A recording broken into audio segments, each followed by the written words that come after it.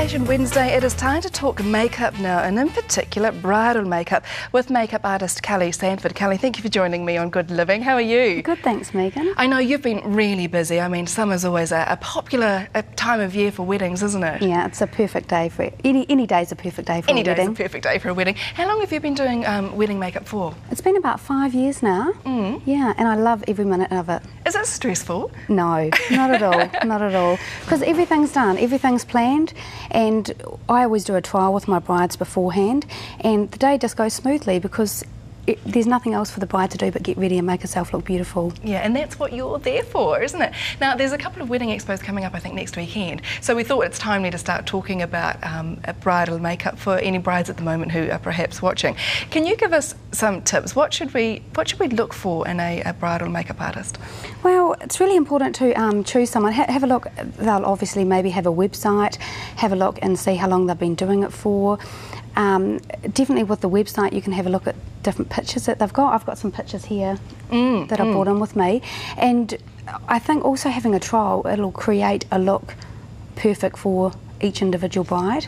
Because I guess do a lot of brides come to you not knowing how they want to look? They just know they want to look their best, and is it common for them to say, "Just make me look beautiful"? Oh, definitely, definitely. And you've got to enhance their features, and everyone's really different with whether they want to go for a smoky eye or whether they want to go for a really natural look that's just going to enhance what they already have. Mm. So, talk to us about what we should be doing. Perhaps let's start from. Is it six months out that we should be start preparing? I think so as well, and especially with the skincare, I think the skincare is really, really important. So, work within your budget, cleanse, tone, use a moisturiser during the day that's going to have an SPF in it.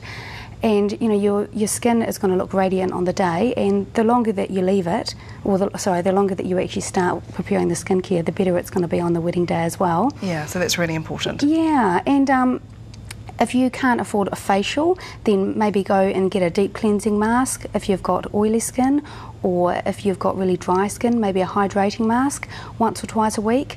Exfoliate as well once or twice a week, and all those little things will make a huge difference on the wedding day. So it's really important, I guess, to start getting into those good habits and, and not start doing it, you know, two weeks before the wedding and thinking, oh, I haven't done anything. Start planning Start for planning your skincare. early. Okay, so that's at about the six month mark. What should we be doing heading a bit closer to the big day? Well, just prepare. Um, I, I think hair and makeup are, are definitely important. So speak to your hairdresser as well, and make sure that you know you're going to get the colour right. And um, grooming with your eyebrows, for example, making sure that they're going to be in the perfect shape because quite often we'll keep plucking and one's always a little bit uneven so it's really important a couple of months beforehand to definitely go and see a beauty therapist and get your eyebrows even Mm-hmm. so that because they're just such an amazing feature on your face as well and they really do open up your eyes Yes, that's right.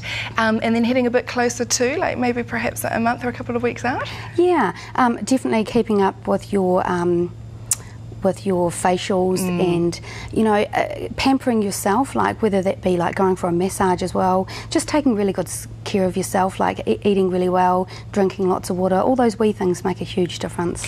And I guess too, I mean, it's very common for brides, they want their, their body to look the best, so perhaps they're losing weight up until that day, and that will change their face shape and everything as well, won't it? Definitely. Okay, so they need to, you know, just make the most of their skin and things like that's happening. Just take, you know, 10, 20 minutes in the evening and really take care of your skin. Like make sure you, the, you wash off all your makeup at night. You know, put a really nice moisturiser on and just take care of just little things will make, little steps will make a huge difference. And on the day, obviously, the brides want their makeup to last for the photos right throughout the night, don't they? How do you do that? Well, um, it's all in the makeup application and also the products that you use. Mm-hmm. So just making sure that, um, and that, that's important with the trial as well, that you come and have the trial and see how long the makeup lasts. But the make any makeup or makeup artist should be able to put on the makeup early in the morning and it'll still look good 10 hours later. Right, so you're absolutely fine there with no problems.